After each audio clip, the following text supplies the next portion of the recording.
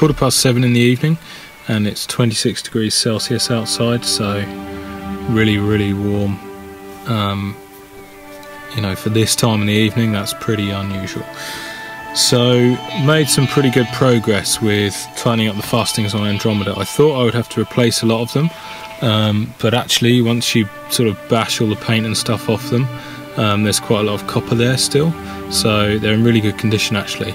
Um, I've managed to tighten up a lot of the original fastenings um, instead of taking them out. A few have had to come out uh, because the roves are just falling apart and the nails are just loose in the holes, so they're going to be replaced with a slightly bigger set. Um, but mostly, I've been able to tighten them up, which has been really good.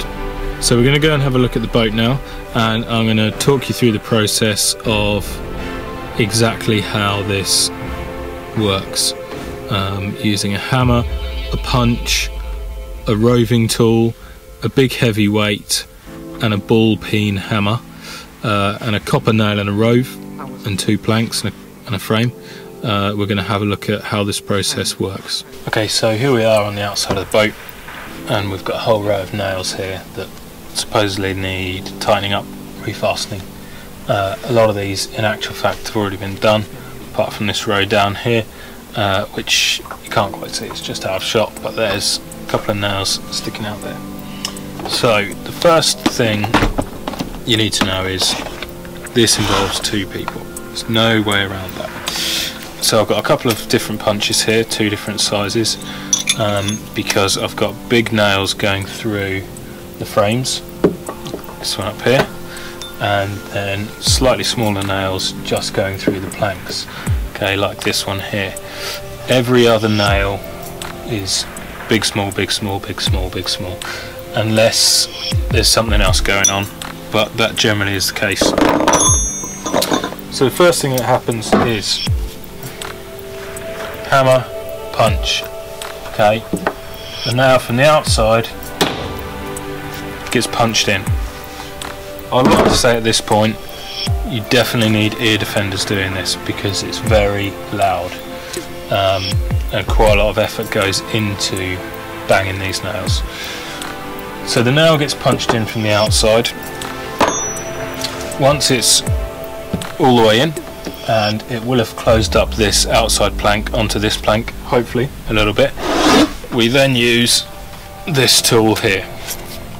Okay, it doesn't look that big, but in actual fact, I'm going to estimate that this weighs about 18 to 20 kilograms. It's very heavy. Okay, and you can see it's got a little bit sticking out. Uh, that's because these nails are countersunk slightly. So that gets held whoops, up against the nail. Um, and the reason for that is someone then on the inside uses uh, a roving tool, which is a bit something a bit like this, uh, but with a hole in the middle. Uh, and they slide it down over the rove, whack it with a hammer. So the big lump of metal is stopping the nail from coming back out at that point. We then use a ball peen hammer to round off the end of the nail on the inside. Okay, but we'll jump inside the boat and we'll have a look at that that side of things.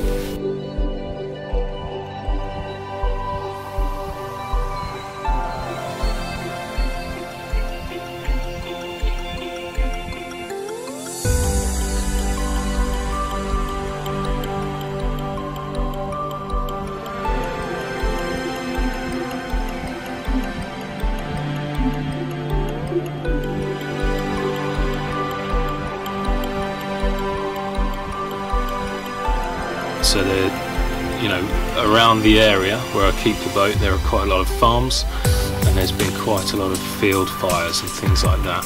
Um, because during the day it's getting up to the 30s, and we've had that weather now for about six weeks with without any rain, which, like I say, is pretty pretty unusual for the UK to have a hot spell so long. Um, not really complaining because I quite like the hot weather but Andromeda doesn't like it. Obviously, you know, the, the sunshine on her planks and on the woodwork is really not very good at all. What I'm hoping is, if we can get the boat fully tightened up, um, and then I'm going to put a bead of something called butyl rubber along each seam just on the outside to stop the water coming in, to try and help stop water coming in.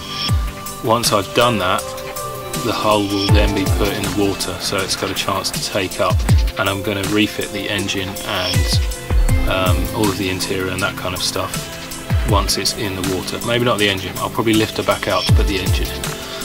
Uh, but what I'm hoping is that that will be done around September, October time, maybe November, so that she's got all winter to be in the water and start to take up. I know most people take their boats out of the water in the winter. This one needs to be in the water so that by next summer she should be ready to go sailing, which would be really good.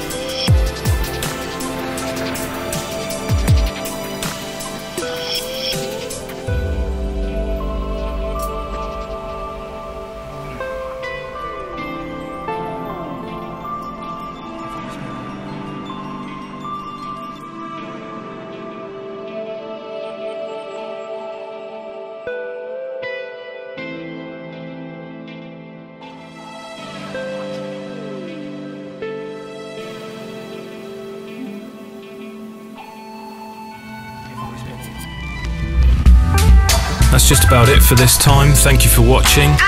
All the support makes a massive difference to the project. If you want to find out a bit more about Andromeda and how you can get involved, follow the link to the website below.